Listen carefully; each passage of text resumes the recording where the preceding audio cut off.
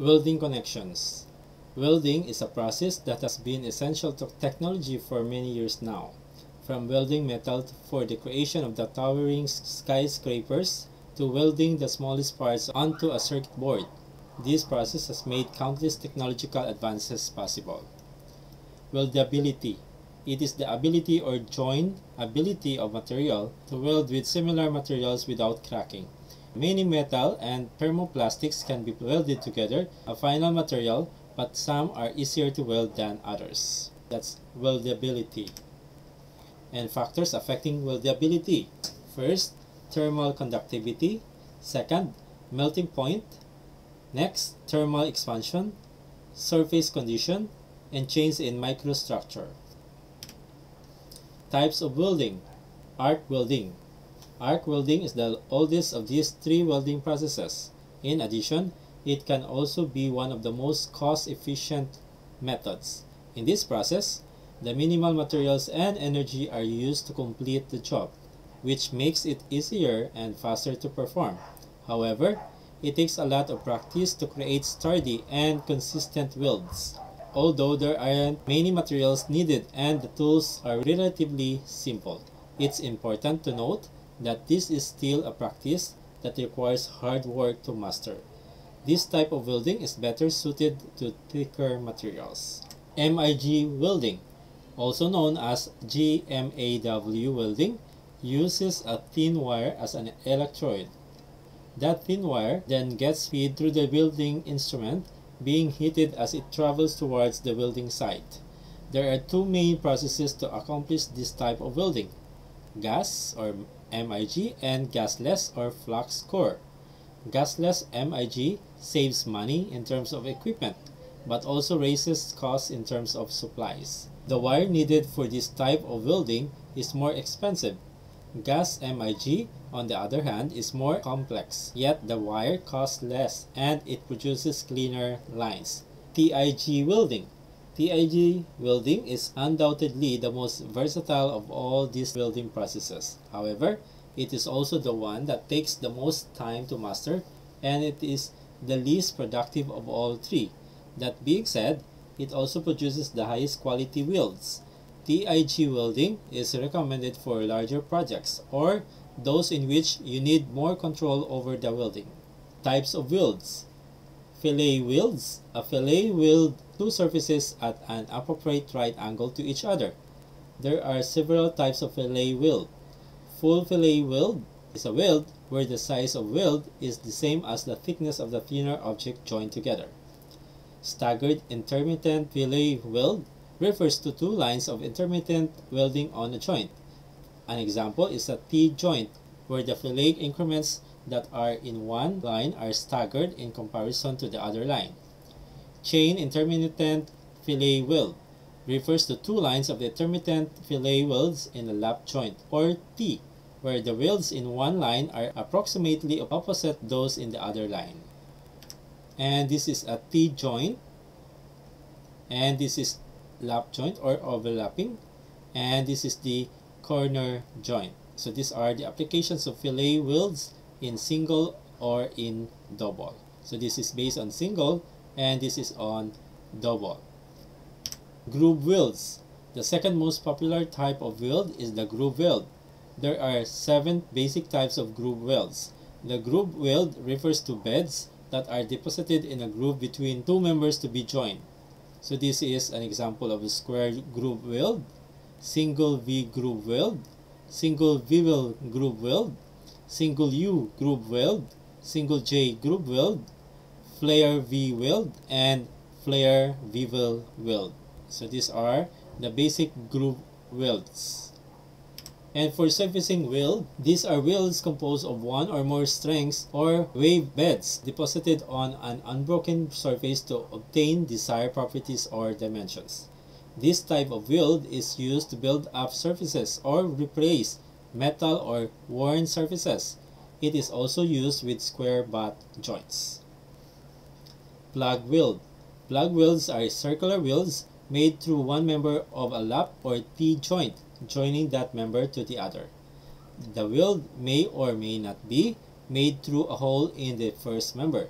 If a hole is used, The walls may or may not be parallel and the hole may be partially or completely filled with weld metal. And for the slot weld, this is a weld made in an elongated hole in one member of a lap or T-joint, joining that member to the surface of the other member that is exposed through the hole. This hole may be open at one end and may be partially or completely filled with weld metal. So these are the surfacing, plug, and slot welds. Surfacing welds, and this is the plug welds made through member without holes. And this is the slot welds, and the plug welds made through holes. Flash weld. Flash welding is referred to as a resistance welding process where fusion is produced over the entire abutting surface. Seam weld a weld made by arc, seam, or resistance seam welding where the welding process is not specified. This term infers resistance seam welding. Spot weld. A spot weld is a weld made by arc spot or resistance spot welding where the welding process is not specified. This term infers a resistance spot weld. Upset weld. An upset weld is a resistance welding process where fusion occurs progressively along a joint of over the entire abutting surface. So this is a seam weld, this is the spot weld, this is the resistant spot weld. The flash weld, this is the resistant seam weld, and this is upset weld. Different types of welding joints. First, T-joint. A T-joint is formed when two parts are interested at a 90 degree angle with one edge lying at the center of the other. They are placed in the form of letter T. This type of weld joint requires the use of the fillet weld that is applied on both sides of the metal. Butt weld. Butt welds are created when two pieces of metal are joined when they are placed side by side in the same plane.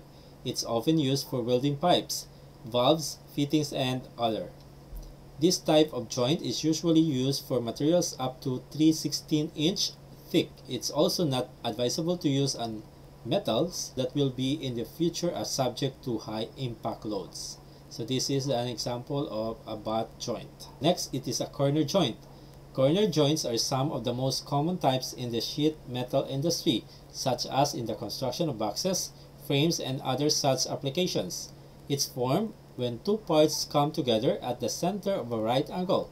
The two parts form a letter L forms a letter L and this is the weld or it is called the corner joint based on double corner joint. And lap joint. This type of joint is usually used when welding pieces that have different thickness. It's formed when two parts are placed over each other in an overlapping way. The joint can be welded on either just one side or both sides for more strength. This joint is widely used in electron beam laser beam and resistance spot welding. So this is the overlapping of two plates and welded. So this is called lap joint. Edge joint. The edge joint is used to join together two or more parts that are adjacent parallel plates. The parts can also be approximately parallel or they can have flanging edges. The process welds the same edges of two parts. So this is the edge joint. And for the capacity of equal leg fillet weld, load capacity P is equal to 0.707 WL F sub V, where F sub V is equal to 0.3 F sub U, and it is the effective area. And for the nominal shear stress, F sub V is P all over L total. Nominal bending stress, F sub B is equal to MC all over I, or it is equal to P times E or the distance from the load. Throat T is equal to 0.707 W. Allowable shear on effective area of weld. F sub V is equal to 0.3 F sub U.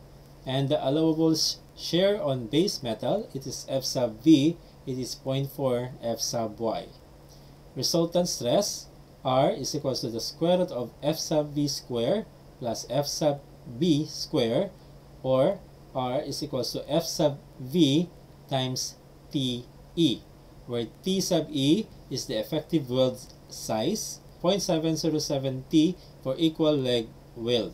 So example, a 50 mm diameter solid shaft is welded to a plate as shown in figure. If the size of the weld is 15 mm, find the maximum normal and shear stress in the weld. So this is a 10 kilonewton load and the distance from the load to the intersection is 200 millimeter and the diameter of the solid shaft is 50 millimeter and the thickness or the size of the weld is 15 millimeter. So D is equal to 50 mm which is the diameter of solid shaft. S is equal to 15 mm or the size of the weld. P is equal to 10 kilonewton or in terms of newton it is 10,000 newton and E is equal to 200 millimeter and let T is equal to throat thickness. The joint is subjected to direct shear stress and the bending stress. We know that the throat area for a circular fillet weld area is equal to T times pi d and this is pi d is the circumference of the circle and multiplied by the thickness of or the throat thickness. It is 0.707 s times pi d and the size of the weld is 15 so 0.707 times 15 times pi and multiplied by d which is the diameter of the solid shaft which is 50 mm and the value is area is equals to 1666 millimeter square.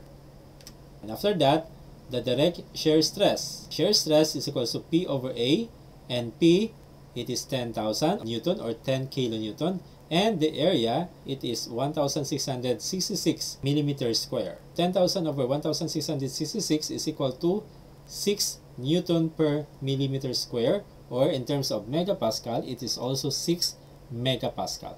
And that's the shear stress.